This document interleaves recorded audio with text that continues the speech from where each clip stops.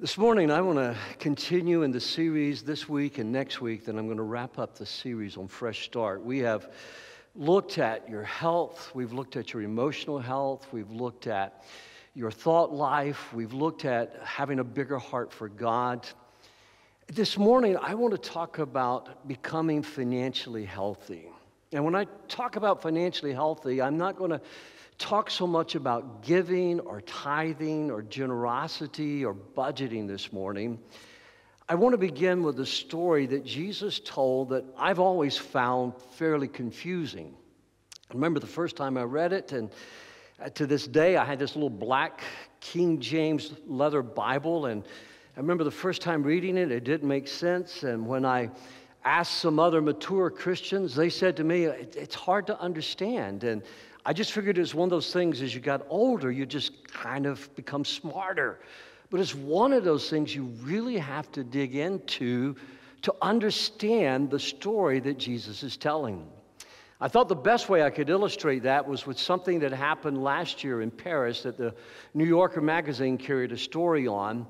There was a baker in Paris that almost died of carbon monoxide poisoning, and a homeless man was walking by and he discovered what was happening and he called the emergency medical services and they got into the bakery they rescued him and he was so grateful the baker his name was flamant michel flamant he was so grateful for the man for, to the man for saving his life that he told him he said i will train you how to be a baker. I will teach you how to be a baker and I will give you my business for one dollar, less than one euro, less than one euro. He said, I'll give you my whole business.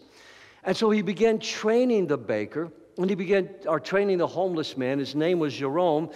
And as he began to train him, he thought the man was making progress. But then one night, he got news and he came down to the bakery, and the guy had set a bar up in there, and it was filled with drunk people and homeless people. And and there was an argument that erupted. Jerome threw some very nasty insults and threats at Mr. Flamant. And so he ended up taking the bakery back, not telling him, you know, you've got to leave, you've got to clear out, because he failed to manage the opportunity that God had given him.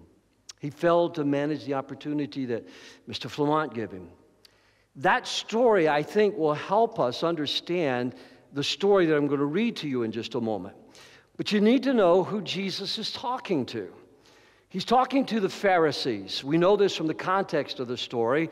And the Pharisees are arrogant, they're proud, they love money. They love what money does for them. They love the power that it brings them. They love the possessions that they're able to get with it. They love the position that money brings to them. If you have any resources at all, you know that you carry a certain amount of position that people look up to you. They look to you for advice, they look to you for counsel, and at times they even look to you for resources.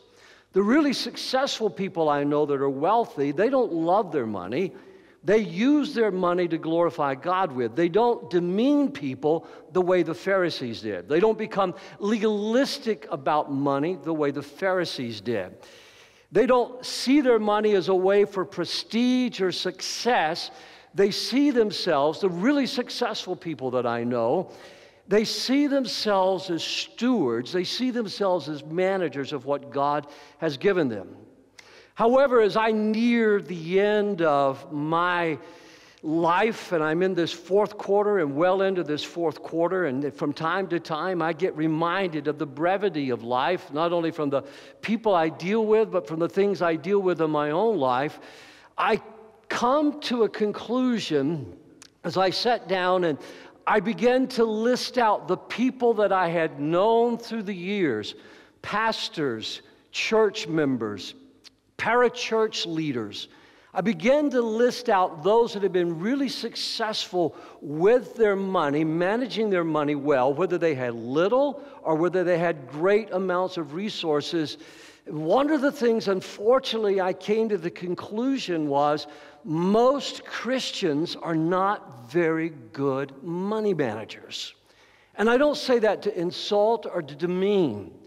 I'm just telling you what I've discovered through the years most Christians aren't very good money managers. Most Christians find it hard to do what many of you do in this congregation, and that is to tithe and to give unto the Lord, to set apart, set apart the first 10% unto the Lord.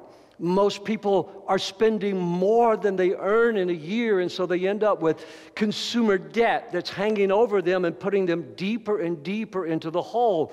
Honestly, they're not financially healthy, and yet when I read the Bible, just like we looked at with mental health and emotional health and physical health, as we looked at with our relational health that we talked about just recently, God wants you and God wants me, God wants those of you who are watching online, God wants you to be financially healthy and to have peace in your heart.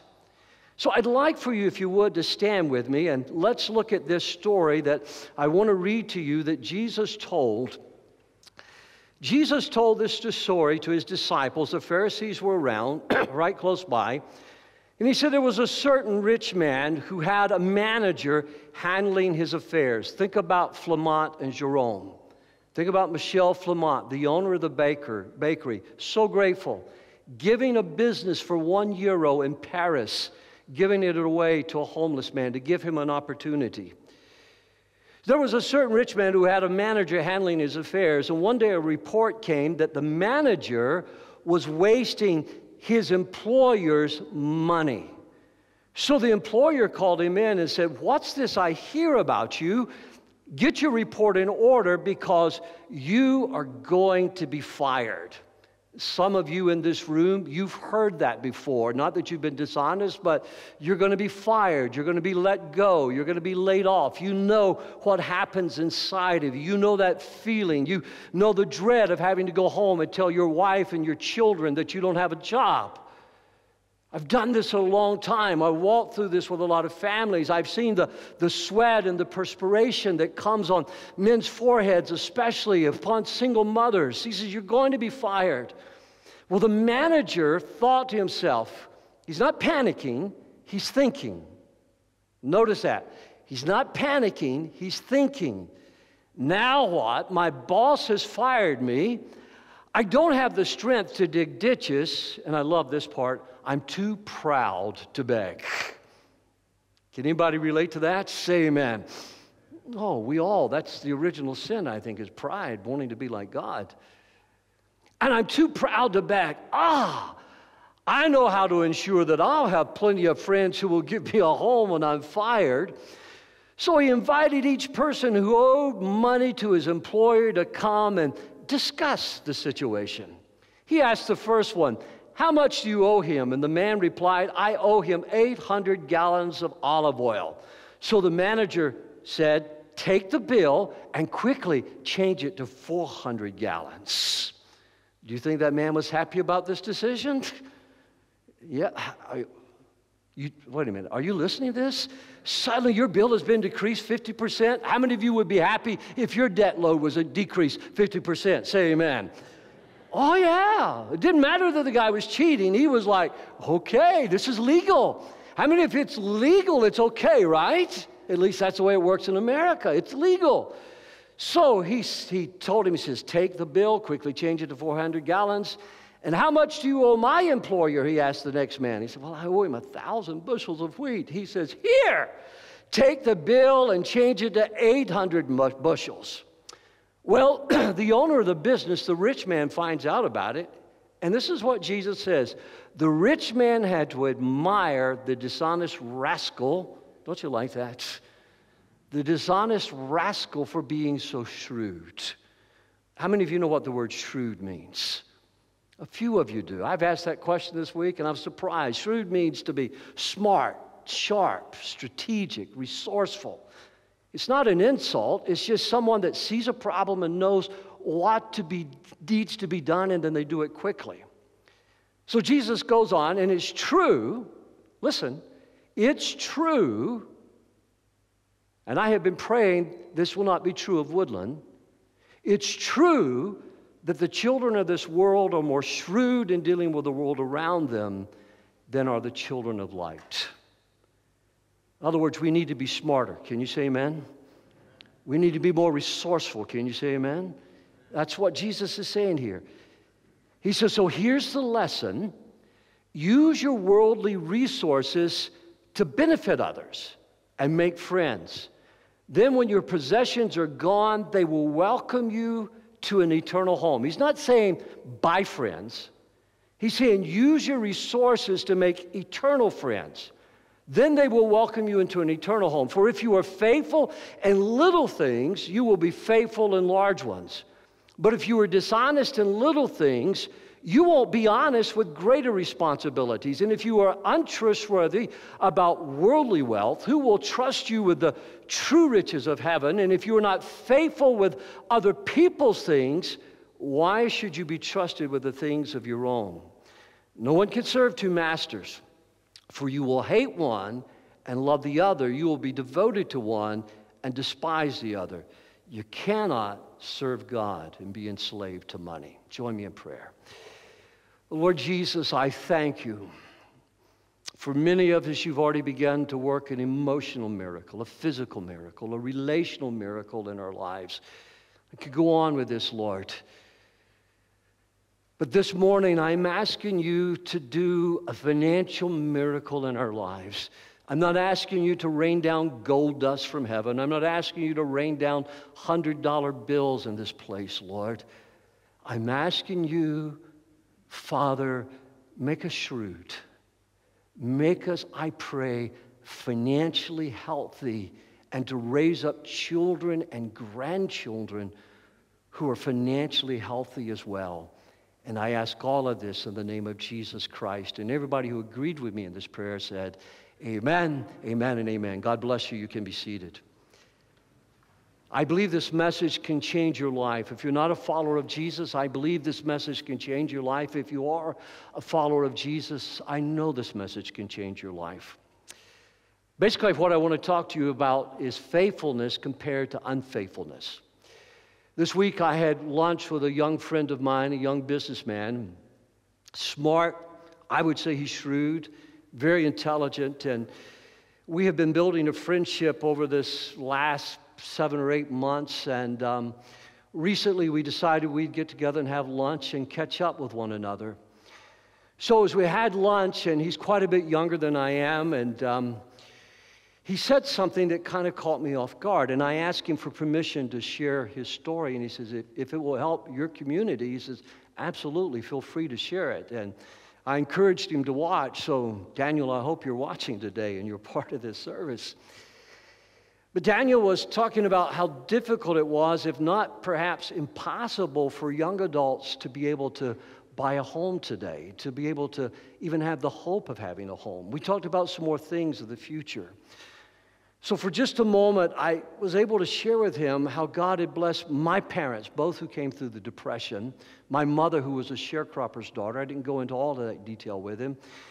I, then I shared with him how when Becky and I got our first home, that interest rates were sky high. People were losing their homes. People, especially those that took out loans against their house to buy stuff with, people were losing their homes. And we got an exceptional uh, loan at that time where loans were north of 15 and 16 percent. We got an exceptional loan of 12 percent. And we built our first home. But we had put down, you know, we had bought and paid for our land. We had already put in the things that were going to be necessary and paid cash for all of that. And so I just shared with him, Daniel, these can happen for you and for everyone else in your generation if you're willing to practice the principles that the Bible gives us. I didn't go into this with Daniel, but I've seen this happen with refugees. I've seen this happen in other nations where people just simply begin to put these principles in effect that we talk about all the time around Woodland.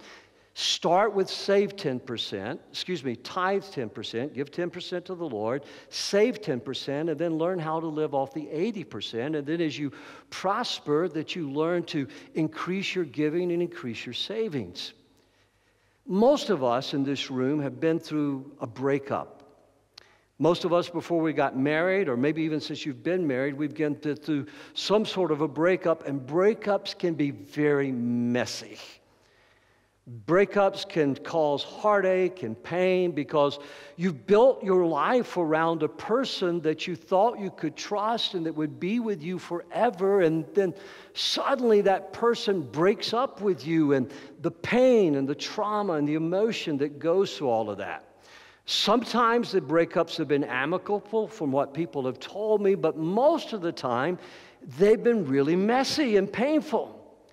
And when it comes to changing our relationship with money, that can be very messy because most of us wrestle with the problem of loving our money and loving the things that money can do for us more than we love God.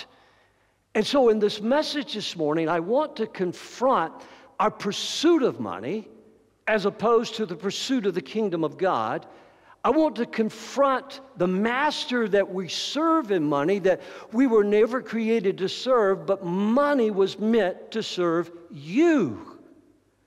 We want to confront how that role has been reversed in our lives because it's a wrong relationship. I also want to confront how the desire to acquire more money can damage relationships that we've talked about, can damage physical health that we've talked about, can rob you of emotional health that we've talked about. And I want to talk to you about how to break up and move on so that money is your servant rather than you serving your money.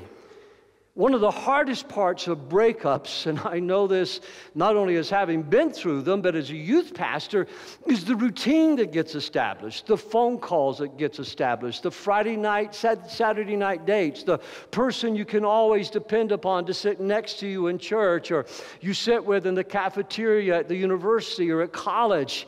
And you've placed your, your faith in this person and there's a breakup. And then all of a sudden, you've got to establish a new routine. You've got to establish a new way because you still see that person in the community and you're still going to see your bills and you're still going to see money. So, how do we acquire new habits to move on in life?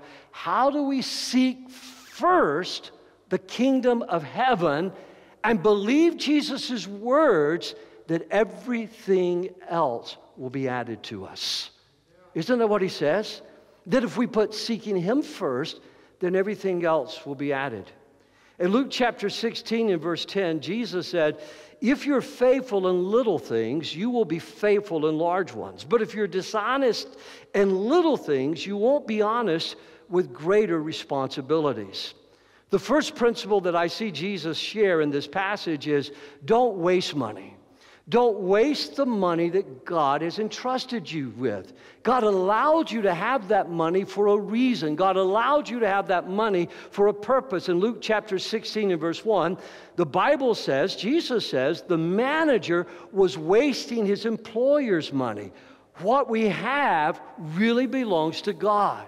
And it changes your perspective. It changes my perspective when I realize the money that I have does not belong to me, it belongs to God. We're not like those little gulls in Finding Nemo going, mine, mine, mine, mine, mine. It all belongs to the Lord. The second thing that Jesus teaches here in this passage is don't love money. The problem of the heart is exactly that it's the problem of the heart.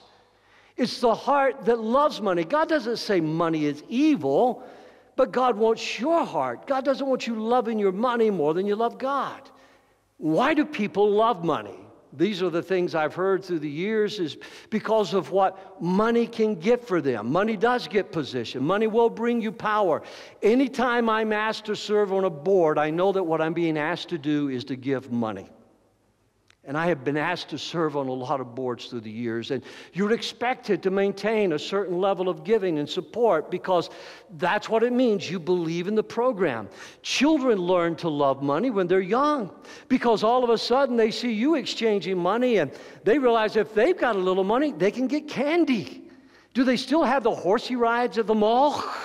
or at the shopping centers. When I was a kid, I always wanted to ride the horsey, but it took money money for one of my little nephews. He went in and stole some money from his mom and dad and went to school and bought everybody candy that day. He was loaded with friends, and his dad had a whole lesson to teach him.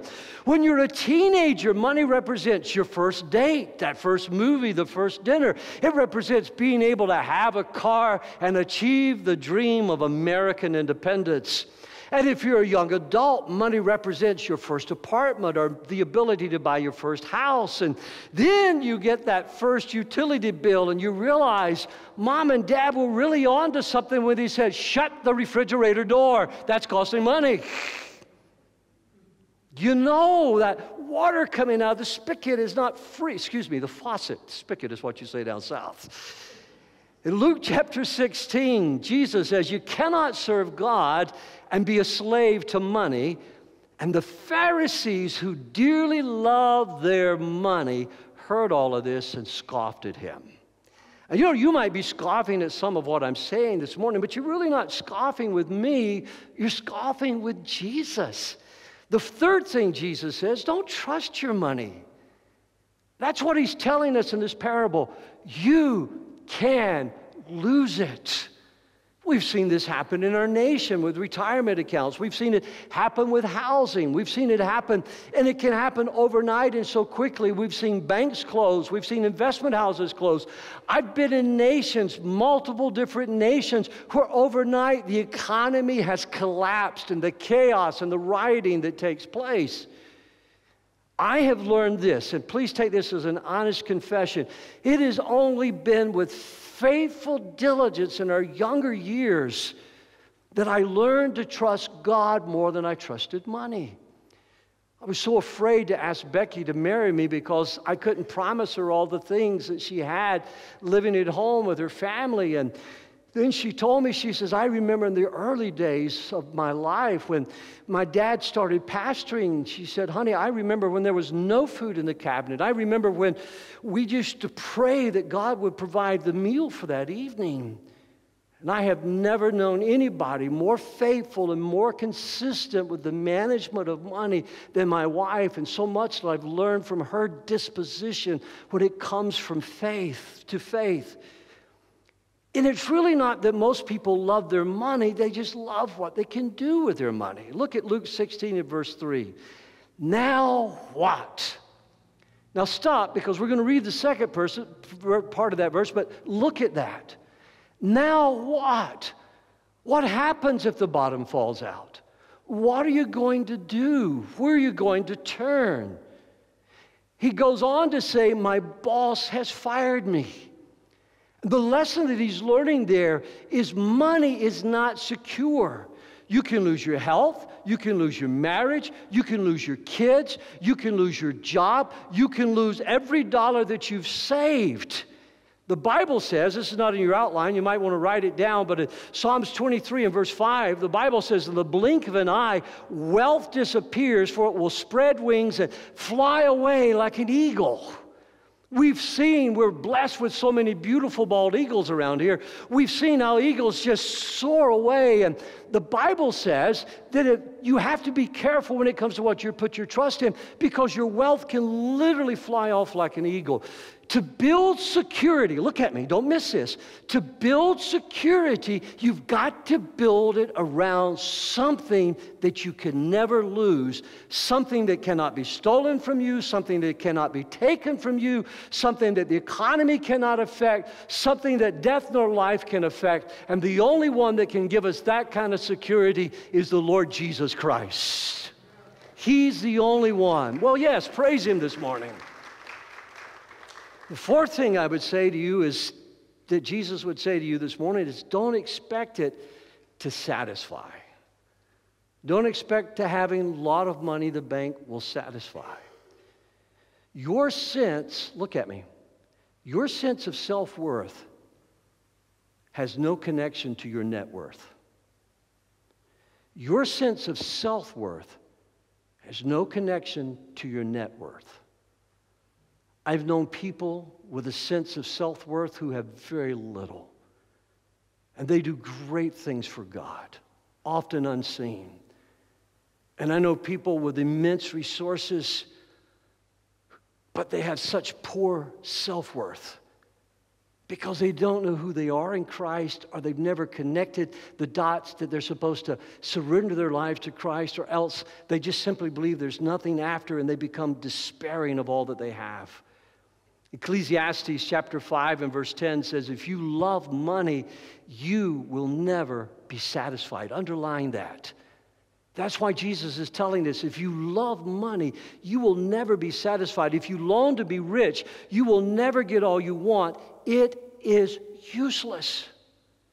Morgan, your words and your stories up here were so sweet this morning because how many times through the years have I heard kids tell me what they want to do is make a lot of money. I want to be a doctor so I can make a lot of money. I want to be an investment maker so I can make a lot of money. And we, they've just gone on and I want to have a Ferrari. I want to have, even my own little grandson just recently was telling me, saying, Papa, I'm going to build a 10 story house. The third story is going to be yours. I'm going to have two Lamborghinis and I'm going to buy you a Tesla and put it in the garage as well. Well, thank you very much, Davin. you know, he's got all these. And so he drew it. What's that little game he likes to play? Build who? Minecraft. So he built it all on Minecraft and showed it to me on the computer. It's actually a pretty nice house for a 10 year old little boy to draw. So Papa has the job then of saying, Oh, Davin, you're so sweet and you're so kind, you're generous. And but you know, we have to start with the little things, Davin, where we're at. And don't let money burn a hole in your pocket and learn to be generous. And yes, I know Papa, I know Papa. But he's got these dreams. Listen, if you chase after stuff like that, you will never be satisfied. The lesson, remember Jesus said there was a lesson here? The lesson is the blessing of faithfulness. Say that with me. The lesson is the blessing of faithfulness. Say it again. The lesson is a blessing of faithfulness. One more time, I want you to get it. The lesson is the blessing of faithfulness. One of my good friends, fighter pilot, he and I were talking. I was out at the base one day, and he and I played a round of golf. We had lunch in the officers' dining room afterwards, and and he said, You know, he said, Pastor Clanton, he says, one of the things that you often see is guilty pilots. We come home from overseas. He said, We're fly off when we've got a war game, we've got something to do. And he says, You will see wives and little children running up to greet their dads that have partied hard or been unfaithful to their marriage vows, and you can see the guilt written all over their faces. He said, There is a curse on unfaithfulness. There is a blessing on faithfulness to God and faithfulness to one another. Can you say amen? There is a blessing to that. Recently, I was reading in Acts chapter 4 and verse 33 if you were to ask me to quote it to you in King James, I would tell you, and great grace was upon them all. That is the word. The Greek word is charis. But the New Living Translation translates it this way, and it's, it's accurate. So I wanted to read it to you. God's great blessing was upon them all. And this was in the context of financial stewardship. If you look at Acts 4, it's not only in the context of the church being the church, but it's absolutely the context of financial stewardship or money management. And God said, Great blessing was upon them all. How many of you would like to be blessed by God greatly? Can I see your hands this morning? All of us do. God's great blessing was upon them. How? Number one, it all belongs to God. In Acts chapter 4, they all recognize that. We're all under manage, management and we're all giving something to manage to God, but it's all on loan. You're going to die. You're going to give it away to somebody. The Bible says in Luke chapter 16 and verse 1, Jesus is talking again. He said, There was a rich man whose manager was accused of wasting the rich man's possessions. Here's my question when I read that to myself in my journal, so I ask it to you as well. How well are you taking care of God's property? How well are you taking care of God's house? How well are you taking care of God's bed? How well are you taking care of God's food that He's blessed you with? How well are you taking care of your wife or your husband? How well are you taking care of your children? They're all on loan to you from God. One day you're going to have to give them away. Number two, God uses money to test me. God uses money to test my life. You see, the test reveals my true love in life. When God is testing me financially, if I'm going to be faithful to Him with my tithes and my offerings, if I'm going to be faithful to the people that I owe money to, it's a test of my love. Do I love my money more or do I love God and people more? It's why Jesus said in Matthew 6 and verse 19, Don't store up treasures here on earth, store your treasures in heaven. Where your treasure is, there will be the desires of your heart also. In other words, my heart is always going to be where my true treasure is. Secondly, the test shows what I truly trust. The test shows what I truly trust in life. Trust in your money, Proverbs 11 and verse 28. Trust in your money, and down you go. But the godly flourish like leaves in spring. And as we've emerged from a long gray winter and we've watched our landscape around us flower and we've seen the trees come back to life, I find myself often quoting this verse of scripture as I'm praying, as I'm worshiping. The godly will flourish like leaves in spring. In other words, you're going to be a flourishing tree because you have trusted in the one who gave his life on the tree to give you eternal life. And we put him first in all we do. So look at me for just, especially those of you watching online. If you're feeling distant from God, if you're feeling spiritually shallow, shallow, if you're feeling powerless in your life, then I would ask you check your checkbook or check your money management tool that you use on your computer or on your phone. Because you can find where your true love and your true security is by how you're using your money. Thirdly, the test shows that God can trust me. And so the question is can God trust you with more? Can God trust you with more than what He's already blessed you with this morning? Look, I need a CEO for my life. I need a chief executive officer for my life, officer for my life. I need God. I need someone to teach me, to guide me, to give me the principles. And you say, Pastor, isn't that like saying God is a crutch? Of course, it's saying God is a crutch. I'm not strong enough to make it in this world without God. You're not strong enough to make it in this world without God. I don't care who you are, the President of the United States, you cannot make it in this world without God. Life is not manageable without God, but life can not only be managed, you can live an overcoming life when Jesus Christ is the CEO of your life life. We have to grasp that fact. So in Luke 16, Jesus goes on in the story, and I'm using the complete Jewish version here of the Bible. It's a, it's, it's a wonderful translation. So if you haven't been trustworthy in handling worldly wealth, who is going to trust you with the real thing? And if you haven't been trustworthy with what belongs to someone else, who will give you what ought to belong to you? Circle in your outline the real thing. The real thing. Circle what ought to belong to you.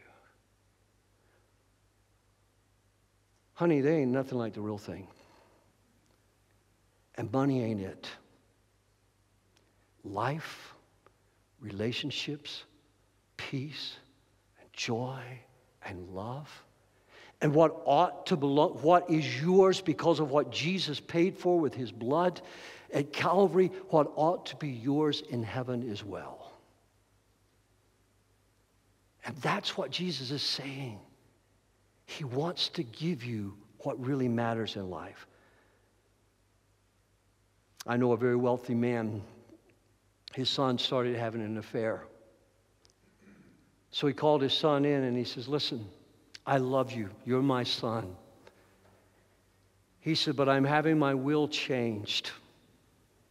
He said, Each of your brothers and sister will get their fair share of this estate and all the businesses that I own.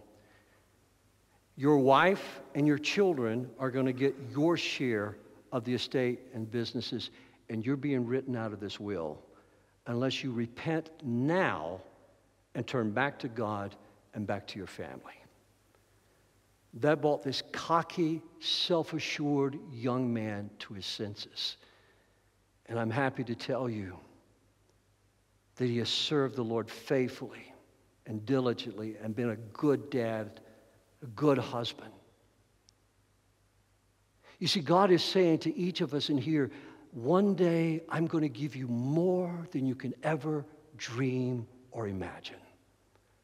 One day it's not even entered into your mind. Look at me. It's not even entered into your mind what I have prepared for you. And it's going to be yours if you manage well what I've given to you now. I'm not talking about your salvation. You're saved. You're going to heaven. But there's going to be so much more to heaven than just getting in by the skin of your teeth. Can you say amen to that? there's going to be so much more to eternity.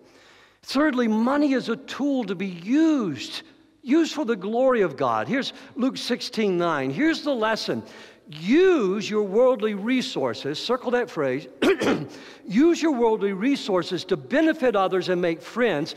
Then, when your possessions are gone, they will welcome you to an eternal home. What is he saying? Love people and use your money well to serve people with.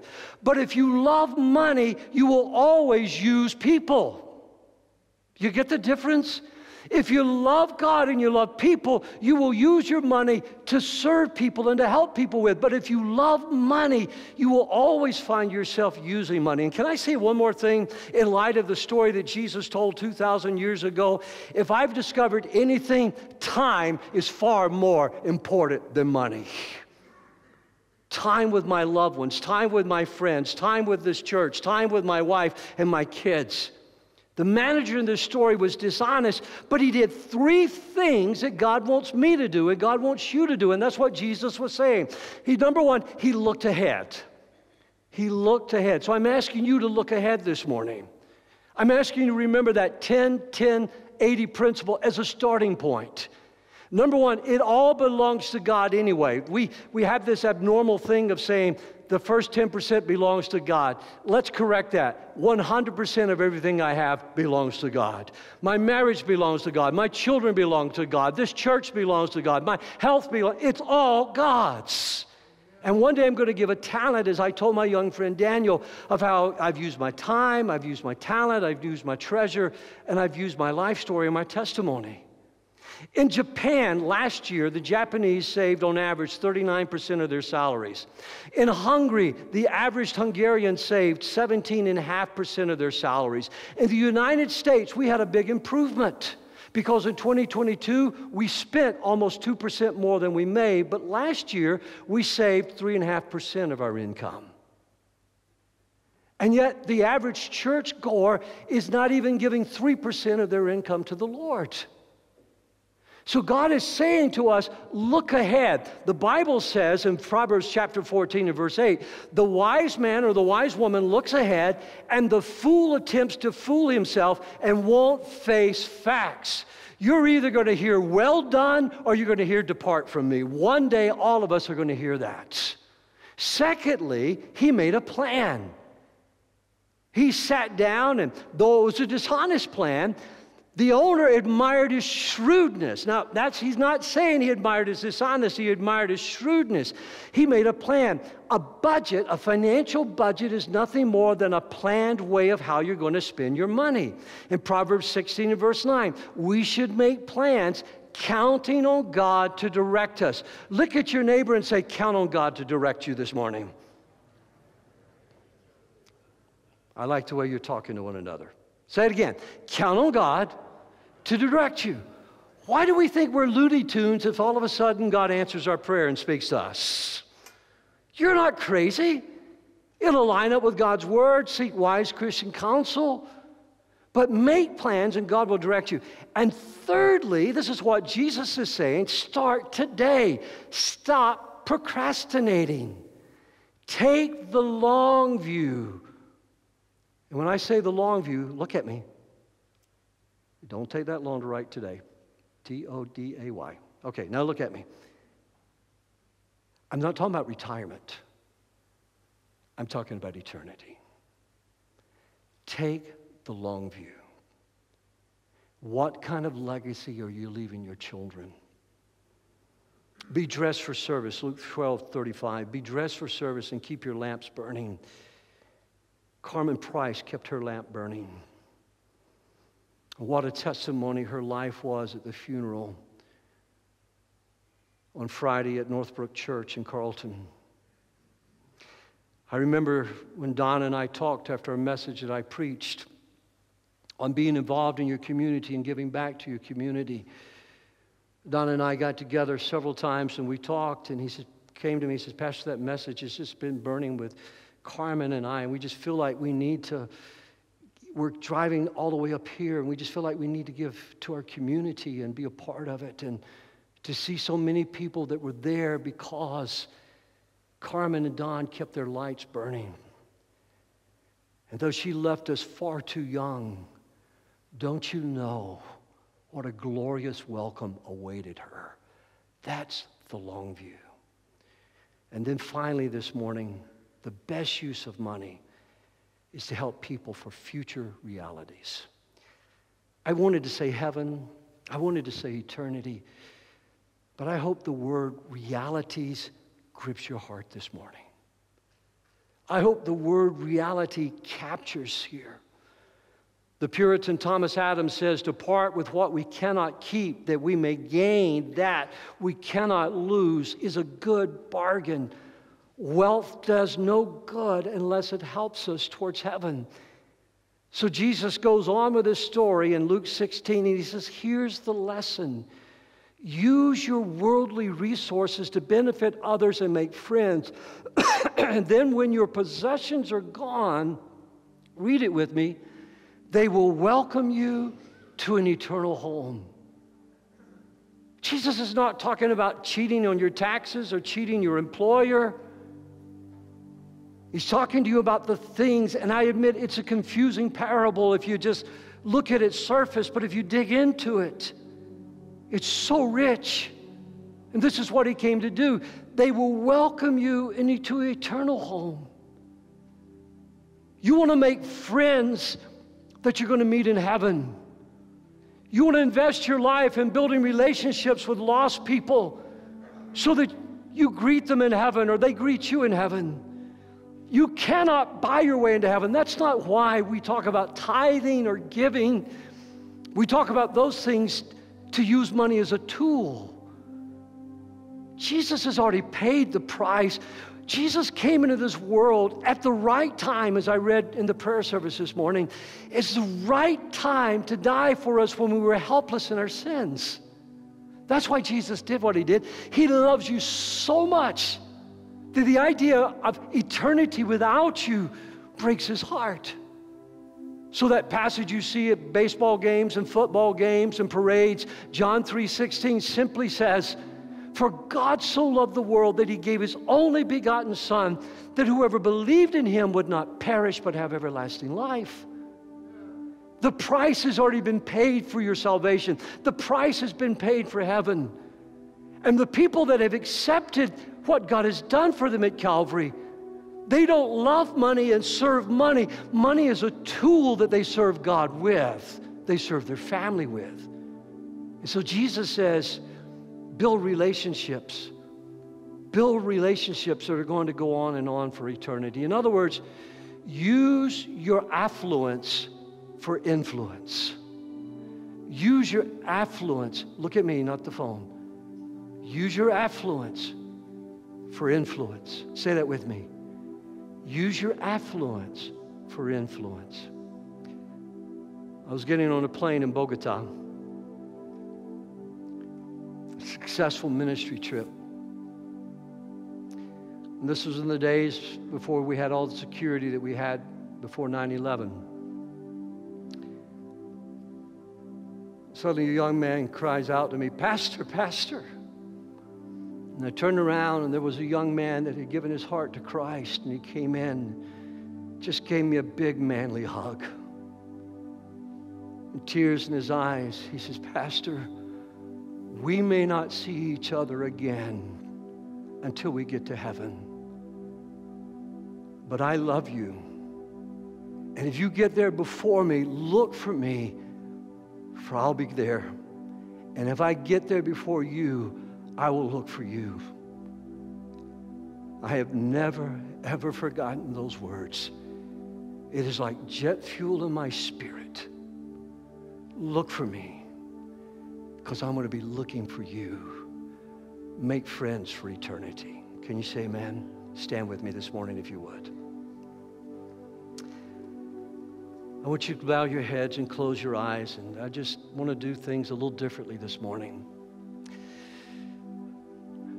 Would you just imagine right now 100, 200, 300, 400 friends waiting to greet you in heaven? People that you've influenced to know Jesus. I know you want to be emotionally healthy and relationally healthy and physically healthy. But Jesus comes right down to something that affects us in every area of our life. That's being financially healthy. So before I pray for us, may I ask you this? And you just talk to the Lord in your mind right now. Just talk to God as I'm talking to you. Does God have first place in your life? If you were to check your checkbook or your money manager, does God have first place in your life? Does God trust you? Can God trust you with what you already have? Are you stewarding your marriage well, your family well, your opportunities well? What are you investing for eternity? How are you building friends for eternity?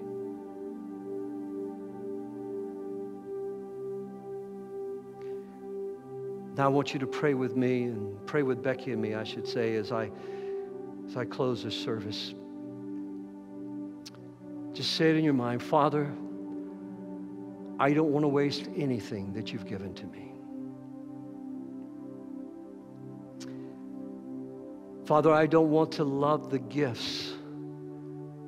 I want to love the giver of the gifts. You gave me the idea, the mind, the strength, my family. Father, I don't want to live for the gifts that you've given me. I want to live for the glory of God and seek your kingdom first.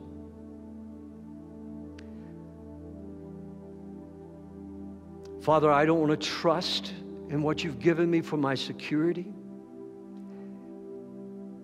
And I certainly don't expect it to satisfy me. For only Jesus can satisfy my soul.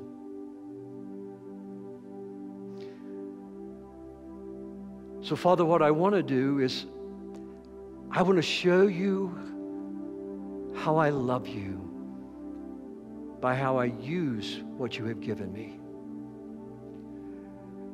I want to show you how I trust you by what you've given me. Lord, I confess that it's all on loan to me anyway, and that when I die, somebody else is going to be blessed with it. Father, I want to use my money to do good. Give me good ideas, Lord. And Father, I want to plan. And I count on you to bless me as I plan. And I ask you, Lord, that I will make friends for eternity and use my affluence for influence. Now, Father, for all that have prayed this prayer this morning with me, I ask you that according to Acts chapter 4, that your great grace, your great blessings will rest upon us supernaturally. I pray that wherever we go, that the fragrance of the Lord Himself will be sensed about us. That when we sit at a table, that people will glance at us because of the sense of God's presence and anointing upon our lives. I, I pray that wherever we go, that the love of God would be revealed. And the people, Lord, will be hungry and thirsty for who we know. Make us, Lord, I pray, like sweet candy but filled with the goodness of God, that people will be eager for what we have. Now, if you've never given your heart to Jesus, then I'm asking you to do this right now. This is the place to start. Remember, Jesus said it's about your heart. The problem of the heart is the heart. So, would you give your heart to Jesus today? That's what he really wants. Because when Jesus has my heart, he has everything. He's already given you his heart when he gave you his son. So just pray this with me right now. Say, Dear Heavenly Father, as much as I know how, I commit my life to you. Forgive me of my sins. Come into my heart and make me a passionate follower of Jesus Christ, I pray. In his name, amen Amen and amen. Now may the face of God and the smile of God and all the blessings of heaven be upon you and leave this place knowing great grace is upon your life today. God bless you. Go in peace.